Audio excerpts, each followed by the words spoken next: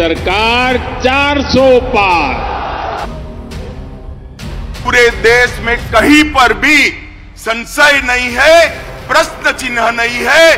देश ने तय किया है कि मोदी जी फिर से एक बार इस देश के प्रधानमंत्री बनेंगे।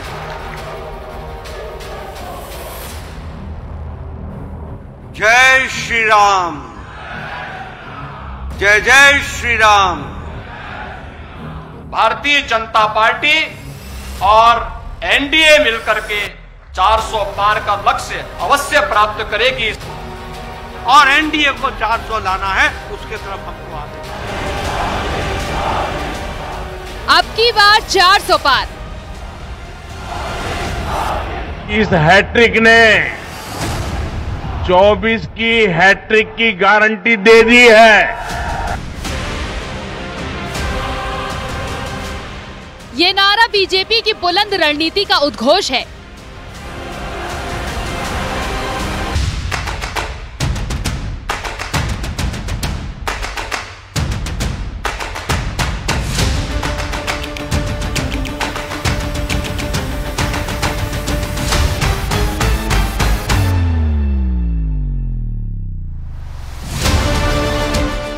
मोदी 3.0 की ताजपोशी का ट्रेलर है। बीजेपी की विजय की गारंटी है।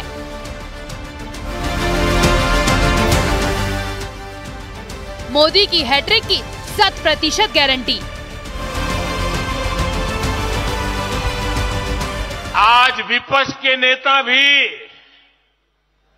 एनडीए सरकार 400 पार के नारे लगा रहे हैं।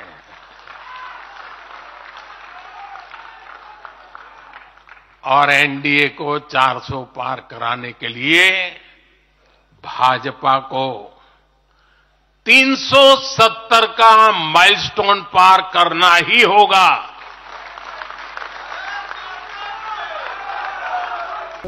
नमः पार्वती पते। हारा हारा महादेव। एनडीए अगर 400 पार जाता है तो हिंदुस्तान के सियासी इतिहास में ये दूसरी बार होगा। और अगर एनडीए 415 का आंकड़ा पार करता है तो पहली बार इतना बड़ा बहुमत किसी दल के पास होगा। लेकिन ये कैसे संभव होगा? ये समझाना ही आज के व्यक्ति विशेष की थीम है। भारतीय जनता पार्टी और एनडीए मिलकर के 400 पार का लक्ष्य अवश्य प्राप्त करेगी। एक तरफ़ मोदी का ट्रिपल आर प्लान दूसरी तरफ़ विपक्षी यानी इंडी गठबंधन को खंड खंड कर देने वाली रणनीति। इतिहास में कुछ बड़ा दर्ज होने वाला है ऐसे संकेत मिल रहे हैं। लेकिन कैसे?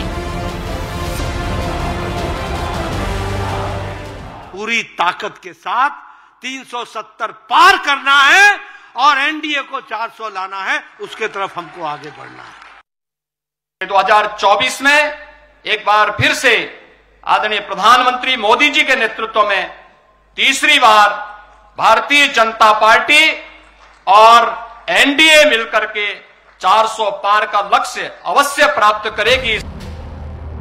जातियों में बटी सियासत को किसान महिला मजदूर की जातियों में बांटकर मोदी पहले जातिवादी दलों की ठठरी बाँध चुके हैं। अब दिल्ली में चल रहे नेशनल अधिवेशन के हुंकार से साफ़ हो गया। अब की बार 400 पार भी। मोदी है तो मुमकिन है। लेकिन कैसे? इस पर विस्तार से बात करेंगे।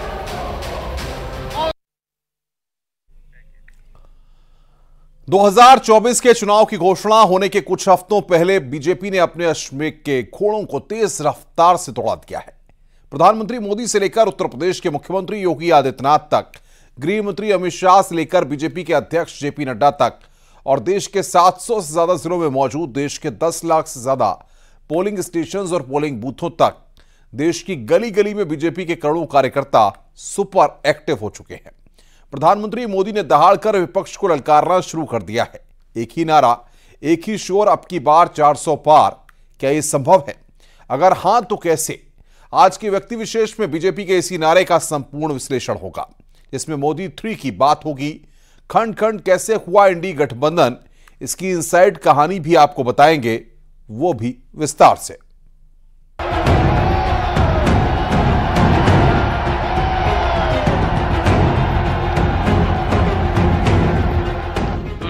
हर शक्ति जानती है। आएगा तो?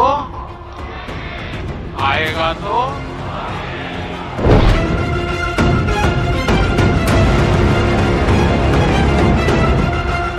हम तो छत्रपति शिवाजी महाराज को मानने वाले लोग। राजनीति के लिए नहीं राष्ट्र नीति के लिए निकले राष्ट्र नीति के लिए निकले अब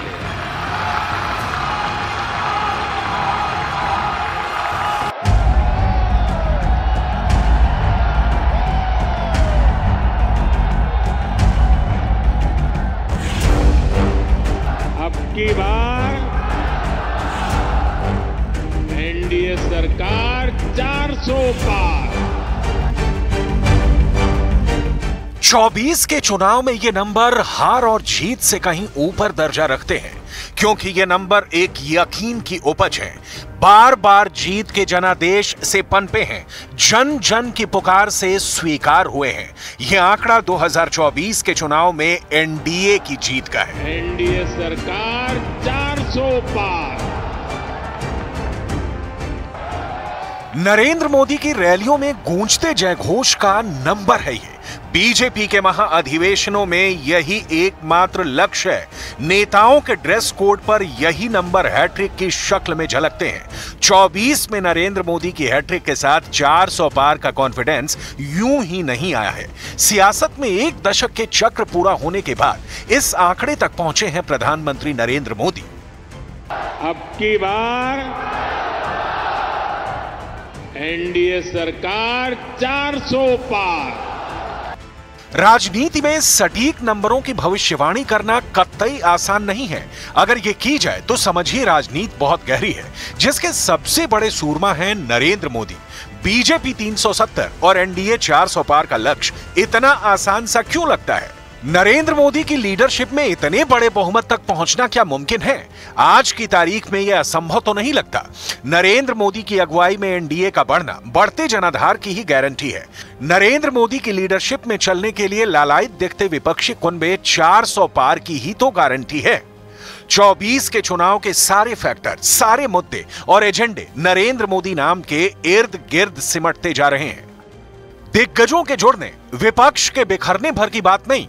नरेंद्र मोदी ने जिस रेवाड़ी से अपने पहले लोकसभा चुनाव का आगाज़ किया था, उसी रेवाड़ी में 11 बरस बाद 400 पार की गूंज सुनाई दी है। तो यह महज इतफाक नहीं, प्रधानमंत्री नरेंद्र मोदी ने इस यात्रा का ज़िक्र वीरधरा रेवाड़ी की रैली में खुद किया। मैं 2013 में, जब भारतीय जनता पार्टी ने मुझे पीएम के उम्मीदवार के रूप में घोषित किया था तो मेरा पहला कार्यक्रम रेवाड़ी में हुआ था।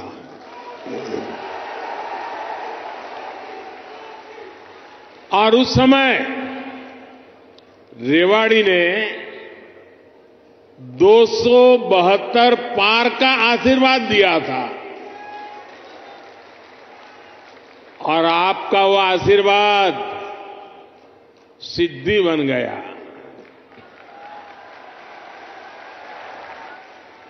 अब लोग कह रहे हैं कि मैं फिर एक बार रेवाड़ी आया हूँ तो आपका आशीर्वाद है, अब की बार, अब की बार, अब की बार एनडीए सरकार 400 पार। 11 साल के अरसे में नरेंद्र मोदी ने जो काम किए, उस पर जनमानस की मोहर लगती रही है। राष्ट्र निर्माण से राम मंदिर निर्माण तक नरेंद्र मोदी के संकल्प की सिद्धि देश ने 11 वर्षों में देखी है। विकास की राजनीति की साक्षी नई पीढ़ी हो या फिर दूर ग्रामीण इलाके में बसी बुज़ुर्ग महिला, इन्हीं वजहों से नरेंद्र मोदी को जननायक मानती है। रामलला की प्राण प्रतिष्ठा ने चुनावी राजनीति का पलड़ा भगवाधारियों की तरफ़ झुका दिया है। देश की इच्छा थी कि अयोध्या में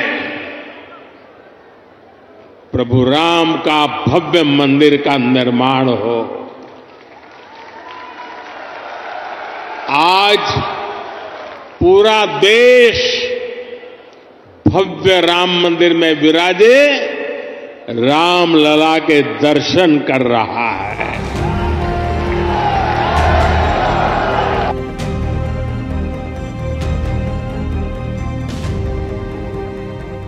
पीएम मोदी ने जब से अयोध्या में रामलला की प्राण प्रतिष्ठा की है, तब से बीजेपी राम लहर पर सवार है। पूरे उत्तर भारत में राम मंदिर निर्माण का प्रभाव दिखना तय है। तमाम विपक्षी भी अब दबी जबान में ये मान रहे हैं कि बीजेपी को चुनाव में राम लहर का फ़ायदा मिलेगा। आस्था के मुद्दे के समाधान से जन कल्याण तक नरेंद्र मोदी की कार्यशैली बेजोड़ है। वो हर कार्यक्रम और सभा में जिन योजनाओं का ज़िक्र करते हैं, उसके लाभार्थी अपनी खुशियों का इजहार 400 पार के नारे के साथ करते हैं। मुफ़्त अनाज की गारंटी जिन्हें मिलती है, वही कोर वोटर बनते हैं। मोदी सरकार के कार्यकाल में जिन फैसलों ने जनमानस का दिल जीता, उनकी एक झलक देखिए। 2014 में प्रधानमंत्री मोदी ने देशव्यापी स्वच्छता अभियान शुरू किया। इसके बाद 29 सितंबर 2016 पाकिस्तान में सर्जिकल स्ट्राइक कर आतंकियों का सफाया किया। 26 फरवरी 2019 को पाकिस्तान में आतंकी अड्डों पर एयर स्ट्राइक।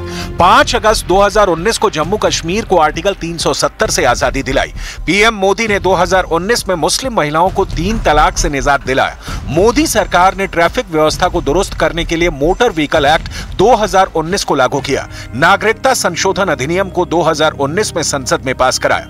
16 जून 2020 से एलएसी पर चीन सेना को मुंहतोड़ जवाब। 28 मई 2023 को नई संसद का उद्घाटन हुआ। 22 जनवरी 2024 को राम मंदिर में राम लला की प्राण प्रतिष्ठा।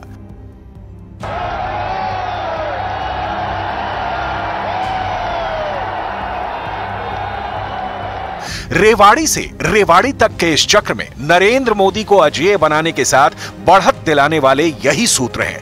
राम राष्ट्र और जन सरोकार की राजनीति। एक नहीं, अनेक कारणों से नरेंद्र मोदी अपराजय बने हैं। आंकड़े इसकी गवाही देते हैं। बिहार मध्य प्रदेश कर्नाटक, गुजरात, राजस्थान, झारखंड, छत्तीसगढ़, हरियाणा, दिल्ली, उत्तराखंड, हिमाचल प्रदेश और गोवा बीजेपी का मज़बूत गढ़ है। बीते लोकसभा चुनाव में इन राज्यों में एनडीए का स्ट्राइक रेट चौरानवे प्रतिशत का रहा था। यानी बीजेपी ने 210 में से एक सौ अट्ठानवे सीटें हासिल की थी।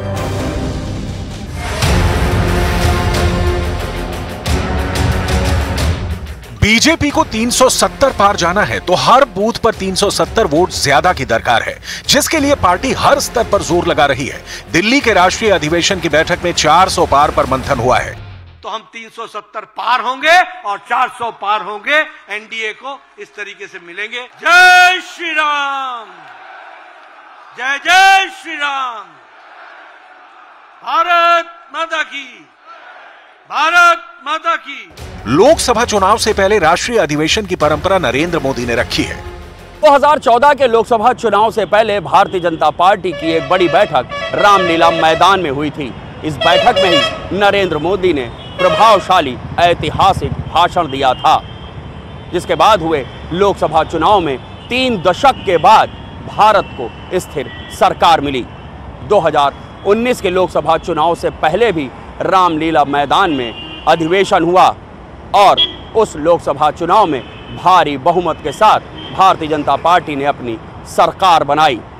और अब 2024 में भी चुनाव से ठीक पहले बीजेपी के राष्ट्रीय अधिवेशन में 400 पार सीटों की हुंकार भरी गई है। 24 के चुनाव में हिंदी हार्टलैंड में एनडीए ज़्यादा दमदार नज़र आ रही है। साथ ही कई ऐसे राज्य हैं जहाँ बीजेपी को सीटों के मुनाफे के आसार हैं।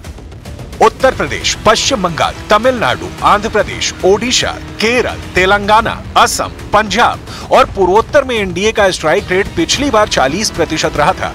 इन राज्यों में लोकसभा की दो सौ पचासी सीटें आती हैं। चुनावी पंडितों की राय में एनडीए का स्ट्राइक रेट इन राज्यों में बढ़ना मुमकिन है, क्योंकि हर राज्य में नरेंद्र मोदी के काम का असर साफ़ दिखाई दे रहा है। वजह 24 के चुनाव केंद्रीय मुद्दों पर हो रहे हैं। मोदी के मज़बूत नेतृत्व और स्पष्ट नज़रिए की काट किसी विरोधी में नहीं। कांग्रेस सोचती है कि सत्ता में रहना उसका जन्मसिद्ध अधिकार है। इसलिए गरीब का ये बेटा जब से पीएम बना है, ये एक के बाद एक मेरे खिलाफ साजिशें करते जा रहे हैं। लेकिन ईश्वर रूपी जनता जनार्दन का आशीर्वाद मेरे साथ है। कांग्रेस की हर साजिश के सामने जनता जनार्दन ढाल बनकर खड़ी हो जाती है। जितना ज़्यादा कांग्रेस साजिशें करती है, उतना ही ज़्यादा जनता मुझे मज़बूत करती है। अपना आशीर्वाद देती है। 2019 के लोकसभा चुनाव में महाराष्ट्र की 48 सीटों में से बीजेपी ने 23 और शिवसेना ने 18 सीटें जीती थी। कुल मिलाकर एनडीए ने 41 सीटें जीती थी। लेकिन शिवसेना के दो धड़ों में बंटने और एनडीए में अजित पवार के जुड़ने के बाद सीटों का समीकरण भी मोदी के पाले में जाने का अनुमान है। क्योंकि महाराष्ट्र में एक नाथ शिंदे, अजित पवार के साथ अशोक चौहान की पावर एनडीए के पास है। एनडीए का विस्तार उत्तर से दक्षिण तक हो रहा है। विरोधी खेमे में खलबली है। इंडी नाम से बना गठबंधन हर गुजरते दिन घटता जा रहा है। अपनी शिकस्त तय मान रहे कांग्रेस अध्यक्ष मल्लिकार्जुन खड़गे ने तो पीएम मोदी से ये तक पूछ लिया था कि अभी कितने विपक्षी नेता बीजेपी ज्वाइन करने वाले हैं, जिससे समझा जा सकता है कि नरेंद्र मोदी के मोहपाश में जनता भी है, नेता भी है, जिन्होंने एक्सप्रेस वे से लेकर वंदे भारत की सौगात तक। जल थल नभ में इंफ्रास्ट्रक्चर की स्केल और स्पीड बढ़ाई।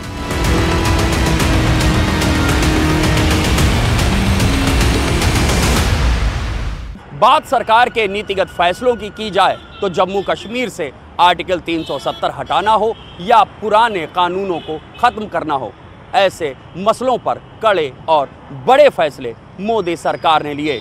तो वहीं दूसरे देशों के साथ संबंध बेहतर बनाने में भी मोदी सरकार का ट्रैक रिकॉर्ड शानदार रहा है। दुश्मन देशों को उनकी भाषा में जवाब देने में नरेंद्र मोदी को देर नहीं लगती। पाकिस्तान के अंदर सर्जिकल स्ट्राइक हो, या फिर एयर स्ट्राइक या फिर एलएसी पर चीन से निपटना हो, मोदी सरकार में भारत का एक नया रूप दुनिया ने देखा।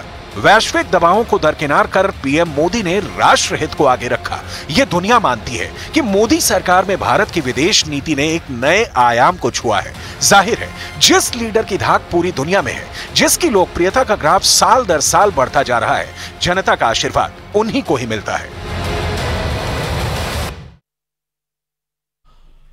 बीजेपी का ज़ोर पॉलिटिक्स ऑफ़ परफॉर्मेंस पर है। वहीं विपक्ष में चिंता अपनी सियासी हस्ती को संजो पाने की है। इंडी में कहीं टिकट बंटवारे पर रार छिड़ी है तो कहीं नेतृत्व को लेकर नाराज़गी है। विपक्षी एकता का हाल करीब करीब 2019 जैसा हो चुका है।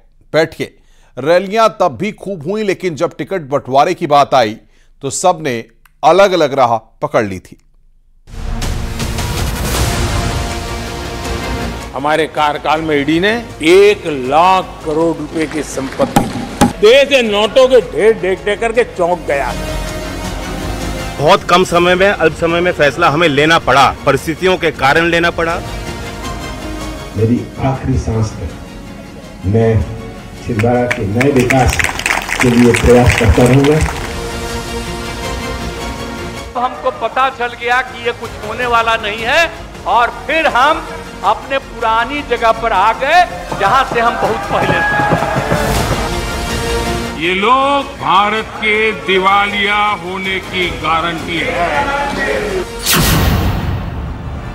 28 पार्टियाँ, तिरसठ नेताओं को मिलाकर मोदी के सबसे बड़ी चुनौती बनकर उभरे इंडी गठबंधन को, कभी सियासी पंडित चुनौती मान रहे थे।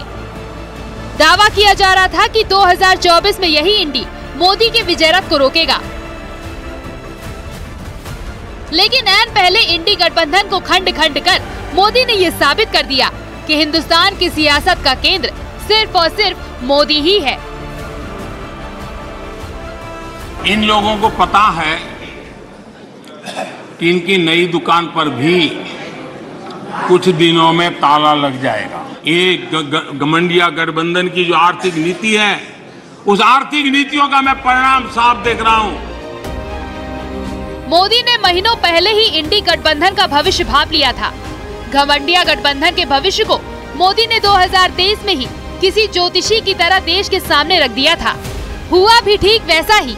आज इंडी गठबंधन से अलग होने वालों की लिस्ट देखे तो नीतीश कुमार छोड़कर बीजेपी के साथ जा चुके हैं। जयंत चौधरी भी बीजेपी के साथ खड़े हैं। कमलनाथ के बीजेपी में जाने की अटकलें लगाई जा रही हैं। मेरी आखिरी सांस तक मैं छिंदवाड़ा के नए विकास के लिए प्रयास करता रहूँगा। आप सब का दिया हुआ प्यार और विश्वास मुझे बल और शक्ति देता है और वही प्यार और विश्वास मुझे मेरी आखिरी सांस तक मिलता रहे। आप सबका बहुत बहुत धन्यवाद। बीजेपी ने सिर्फ़ खुद को ही मज़बूत करने पर फोकस नहीं किया, बल्कि चुनाव से पहले ही विपक्ष को चारों खाने चितकर साथी दलों को जीत की गारंटी भी दे दी। नरेंद्र मोदी ने 400 पार का नारा यूँ ही नहीं दिया। इस नारे के पीछे उनका एक एक सीट का मज़बूत गणित है। बीजेपी के चाणक्य अमित शाह का माइक्रो मैनेजमेंट दिखने लगा है। जहाँ पर भी कमज़ोर कड़ी है वहीं जोड़ तोड़ का खेल जारी है। संदेश साफ़ है बीजेपी इतिहास लिखकर मानेगी। दिल्ली से इसकी हुकार भी भरी जा चुकी है। सात परिवारी परिवारवादी पार्टियों का गठबंधन इंडी अलायंस है। इससे ज़्यादा कुछ नहीं है। सोनिया जी का लक्ष्य, राहुल जी को पीएम बनाना, पवार साहब का लक्ष्य, बेटी को सीएम बनाना, ममता दीदी का लक्ष्य, भतीजे को सीएम बनाना। मोदी शाह और योगी की टीम तीसरी जीत के लिए विपक्ष के बेड़े पर बड़ी चोट कर रहा है। इंडी गठबंधन जिस तरह चुनाव से पहले ही आपस में लड़ रहा है उससे मोदी की भविष्यवाणी गलत साबित हो। ऐसा होने की कोई उम्मीद नहीं आ रही। वो कैसे? चलिए समझ लेते हैं। पश्चिम बंगाल की बात करें तो यहाँ ममता ने अकेले चुनाव लड़ने का ऐलान कर दिया। कांग्रेस अकेले पड़ गई। पंजाब में केजरीवाल अकेले चुनाव लड़ने का ऐलान कर चुके हैं। दिल्ली में भी आप कांग्रेस को कुछ खास तवज्जो नहीं दे रही। यूपी में अखिलेश ने पहले ही उम्मीदवार घोषित कर कांग्रेस को नजरअंदाज कर दिया है। जम्मू कश्मीर में नेशनल कॉन्फ्रेंस ने कांग्रेस से अलग चुनाव लड़ने का ऐलान कर दिया है। यानी राहुल गांधी जब भारत जोड़ो न्याय यात्रा पर निकले तो सब कुछ ठीक था, लेकिन जैसे जैसे भारत जोड़ो यात्रा आगे बढ़ रही थी वैसे वैसे इंडी गठबंधन खंड खंड हो रही थी। भारतीय जनता पार्टी बहुत एग्रेसिव राजनीति कर रही है। गठबंधन की परिस्थितियों को उसने जब ये पहली बैठक हुई, नीतीश कुमार जी ने बना बना, बुलाई बैठक, और जब उसमें लगा तो वो पेशानी पर पसीने आ गए थे बीजेपी के। इसमें कोई दो राय नहीं है। लेकिन बीजेपी ने जो रणनीति बनाई अपनी, उसको भी ये मालूम था कि अगर ये इंडिया गठबंधन मजबूती से खड़ा रहेगा तो फिर हमारे लिए दिक्कत हो जाएगी। इंडी गठबंधन का खंड खंड होना ही मोदी के हैट्रिक की गारंटी है। लेकिन सवाल ये है कि इंडी गठबंधन खंड खंड क्यों हुआ? इसकी भी कई वजह हैं। जब से बीजेपी राम मंदिर की लहर पर सवार हुई है, विपक्ष के नेताओं का मनोबल फर्श पर आ चुका है। राजनीतिक पंडित इंडी गठबंधन में भगदड़ को इसे भी बड़ी वजह मानते हैं। तो दूसरी तरफ़ बीजेपी राम मंदिर के ज़रिए जनभावना को वोट में तब्दील करने में जुटी है। कुछ लोगों ने उपहास भी किया और कहा रामलला, हम मंदिर वहीं बनाएँगे, तिथि नहीं बताएँगे, या तिथि कब बताएँगे? तो हमने कहा कि आपको तिथि भी बताएँगे और आप ज़रूर आएँगे। आप आए नहीं, ये आपके कर्म थे। हर राम भक्त, हर सनातन धर्मावलंबी, इस घटना से प्रफुल्लित है। और भारत को इस दिन की प्रतीक्षा सदियों से थी। भाव विभोर करने वाला यह क्षण आज अयोध्या में देखा जा सकता है। उन्होंने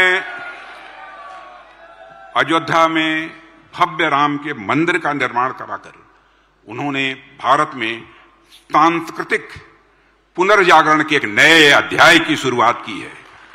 500 वर्षों की प्रतीक्षा के बाद भगवान राम अपने नव विग्रह में अवस्थापित हो गए। मोदी के मैजिक और शाह की रणनीति में फंसकर, न सिर्फ़ इंडी गठबंधन खंड खंड हो गया, बल्कि बदले हालात में राहुल गांधी को पश्चिम उत्तर प्रदेश की अपनी प्रस्तावित यात्रा तक रद्द करनी पड़ी। अब वो महाराष्ट्र में अपनी यात्रा का समापन करने वाले हैं, क्योंकि उद्धव और शरद पवार अब तक कांग्रेस के साथ खड़े हैं। लेकिन दोनों ही दलों में पहले ही टूट हो चुकी है। यानी आधे इधर, आधे उधर। तो मुझे लगता है कि वृंदावन में रहना है तो राधे राधे कहना है। भारतीय जनता पार्टी जहाँ जहाँ आप बंगाल चले जाइए, वहाँ बंगाल में उस ढंग का आ गया कि वो साथ नहीं, गठबंधन के हैं। महाराष्ट्र में छिन्न भिन्न कर दिया, उत्तर प्रदेश में समाजवादी पार्टी चुनौती दे सकती है, जहाँ हो जा अजीत सिंह जयंत को उन्होंने ले लिया, यहाँ से मौर्य जो हैं वो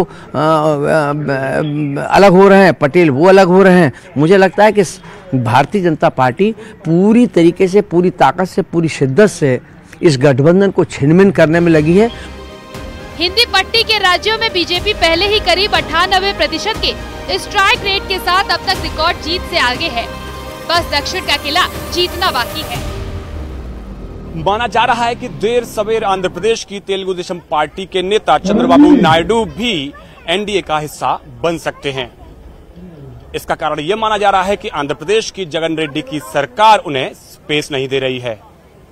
अगर ऐसा होता है तो केंद्र की अगली सरकार में चंद्रबाबू नायडू शामिल हो सकते हैं और इसी गठजोड़ के सहारे आंध्र प्रदेश में बीजेपी का खाता खुल सकता है। यूँ तो अब की बार 400 पार का आंकड़ा पाने के लिए बीजेपी और एनडीए गठबंधन को दक्षिण भारत के राज्यों, तमिलनाडु, केरल, तेलंगाना, कर्नाटक और आंध्र प्रदेश में मज़बूत सीटें लेकर आना होगा। जिस पर बीजेपी के चाणक अमित शाह तेज़ी से काम कर रहे हैं। यानी तारीखों के ऐलान से पहले ही बीजेपी ने अपनी हर चाल चलकर हवा का रुख एनडीए गठबंधन की ओर मोड़ दिया है। दावे कदम चार सौ पार का नारा कोई कल्पना नहीं, बल्कि उस सियासी गणित का दावा है, जिसे धरातल पर उतार कर नरेंद्र मोदी हिंदुस्तान की सियासत में इतिहास लिखने जा रहे हैं। Bureau report news eighteen.